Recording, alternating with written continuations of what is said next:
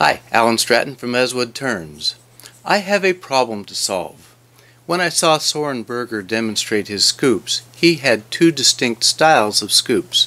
One with a very round bowl on the end and one with a more oval bowl on the end. The problem on each is how to hollow the bowl once the rest has been turned on the spindle works. He demonstrated several methods from a jam chuck to an adapter in a scroll chuck to just using a scroll chuck. Those worked for the round uh, bowl scoop, but he also made the oval. Uh, when he made the oval, he mounted it into a scroll chuck with jaws removed, but it left distinct marks on the exterior of the bowl. On this one it left marks, but I turned that into a decorative element. But with the oval one, that's a much harder task to disguise or than to sand out those marks. So I wanted a better way. I thought back to the egg chuck that we made a while back and said, can I adapt that? I didn't get anywhere with that one. And I thought back to the Cole jaws that we made a while back also. Hmm, can I adapt that one? In the end, I made a wooden, let's call it a scoop chuck. It's a set of jaws that goes on my standard uh, chuck base, which then enable me to adapt the jaws very easily to the scoop that I need to make. It will work for both the round scoop, for the oval scoop, and many other difficult to hold projects in the future. At least I expect it to.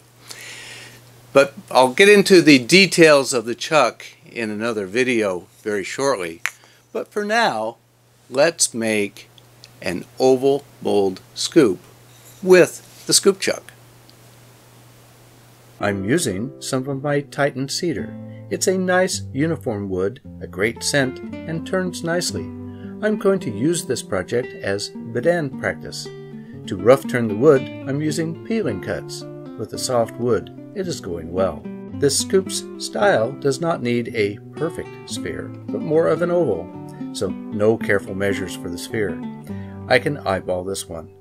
First, round off one end, then the other of the oval, then the handle. The bedan works pretty well. It seems less prone to catch than a skew. In the end, it's a cutting edge with a bevel that I can ride around the curves.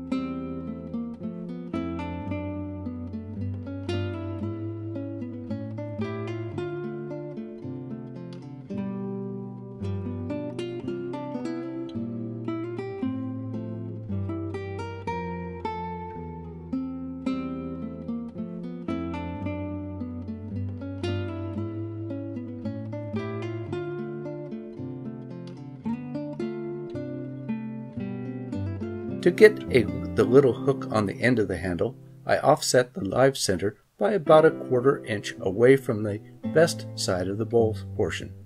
A few strokes and I'm ready to sand and finish. After finishing with Mylands friction polish, I cut two V-grooves to guide wire burnings. Unfortunately, the wire slipped on the slope. That resulted in a shadow burn that looks bad. So I sanded, then tooled away again and reapplied finish. Then I recut the grooves on a less steep area of the handle and burned them again.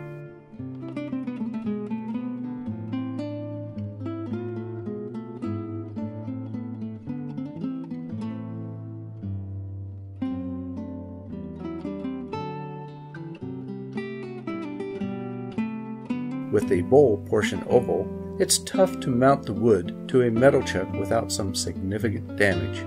That's why I made these wood jaws.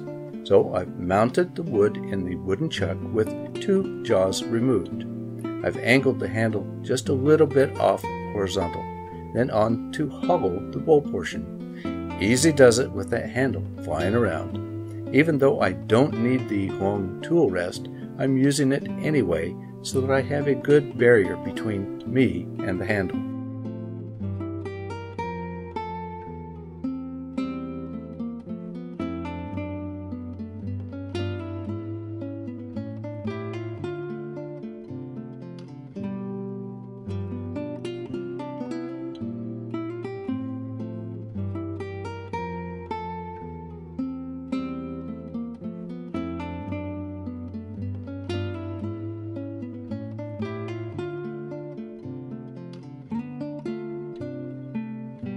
This scoop is not working out as well as I wanted.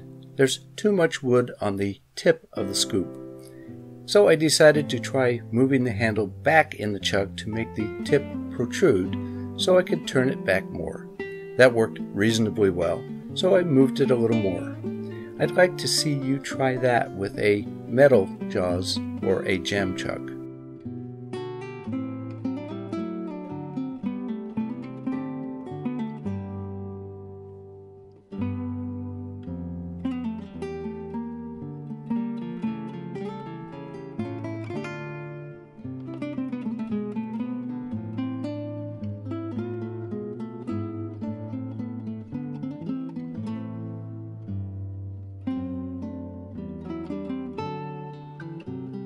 Then sand to clean it up, then apply finish to the freshly tooled wood.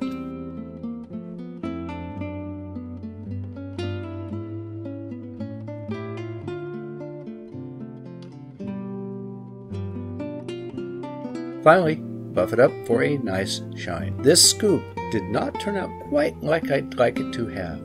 I'd like to see the scoop with a better hull, yet it looks good. I'll have to do more scoops, but at least now I have a set of wooden jaw, chuck jaws that I can use and reuse and adapt to individual project circumstances. When the jaws no longer serve me, I'll tool them off and glue on fresh wood. That's all for this week's video. Please like this video. If you haven't subscribed, please subscribe to both my website and YouTube channel. Always wear your full face shield. Goggles are not enough. Until next time, this is Alan Stratton from As Wood Turns.